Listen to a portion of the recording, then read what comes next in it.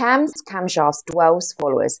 Confused? Stay tuned to learn some more about these keywords. Welcome back to Design Technology on Demand. My name is Charlotte and I make weekly videos helping you to succeed in your design technology GCSE. If you haven't already, hit that subscribe button. Cams are an essential element when it comes to working with tools, toys and machinery.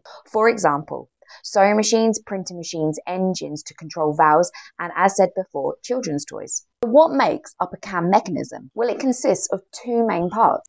A cam which is attached to a rod known as a camshaft. This rod rotates, which is what moves the cam in a rotary motion. The second part is a follower. The follower touches the cam and changes the rotary motion into a reciprocating motion as the follower follows the shape, making it move up and down. Okay, so let's quickly recap. So we've learned what a cam is. A cam, which is a piece of material that could be possibly made out of wood, metal, or plastic. A camshaft, which is the rod that is attached to the cam and makes it rotate. And lastly, the follower. The follower follows the cam outline in an up and down motion. So now that we have a basic understanding of what a cam mechanism is, let's see what happens when we change the shape of these cams. So there are four shapes of cams that you need to know for your exam. We have a circular, a heart shape, a snail, and a pear. Obviously, these shapes are completely different, but how do they affect the mechanism? Well, remember the follower follows the outline of the cam, and all these cams have a slightly different shape. A circular cam is also known as the eccentric cam, used as an off-centered pivot. By offsetting that pivot, it increases material on one side of the cam and less on the other.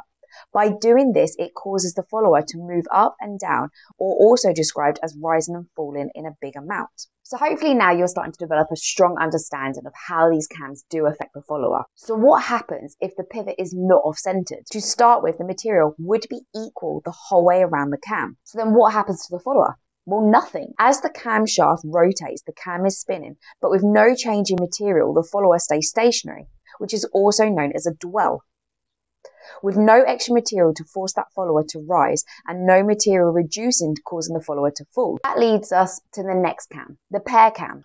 It's pretty obvious where it got its name from. With a pivot point centered within the circular part, this shape creates a dwell. Remember that means stationary for at least half a turn and then it gently rises and falls. This is how to make carousel horses to rise and fall. Let's compare this to the snail cam, or sometimes known as the drop cam. Snail cams have an outline of a snail shape, hence being known as the snail cam. The follower also remains in a dwell for half a turn, but then gently rises to a sudden drop. Something to note about this cam, it can only work in one direction. This is used on production lines to make regular holes or cuts in an item as it rotates and drops in regular intervals. We've looked at the circular, the pear and the snail cam. So how does this differ to the heart-shaped cam? A heart-shaped cam is called this because it simply looks like a heart. This cam doesn't have a dwell. Throughout its whole rotation, the follower is not stationary. The follower rises and falls steadily with a consistent change. Okay, before we move on, let's quickly recap those four cams. A circular cam has an off-centered circle-shaped cam, which is a steady rise and fall. A pear cam is shaped like a fruit and has a long dwell time with a rapid rise and fall. A snail cam is shaped like the shell. It too has a long dwell time with a steady rise and an abrupt drop. Heart-shaped cam is the likeness of a heart. This cam has no dwell time and a small rise and falls. And let's end the video by briefly covering the different followers. So we've learned the purpose of the cam and how that will direct the follower to move up and down. There are three types of followers that you need to know. We have the flat follower. This is a flat bottom that sits on the cam. These types of followers cope well under load, but aren't very accurate as cannot follow the profile of the cam well and don't cope with friction, mainly used within car engine valves. Second up is the point or knife edge. Knife edge follower has a tapered point that sits on the cam. These types of followers are very accurate and also don't produce much friction. However, a negative is that the point does quickly wear away, leaving us with the final one, the roller follower. The roller follower usually has something like a ball bearing attached to the bottom of the follower. These do tend to be accurate, low on producing friction, and can withstand a load.